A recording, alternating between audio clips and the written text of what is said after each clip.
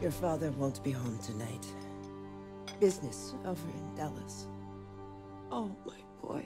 He hurt you so bad. Just rest. And heal. I, I have soup. And porridge. Which one would you like?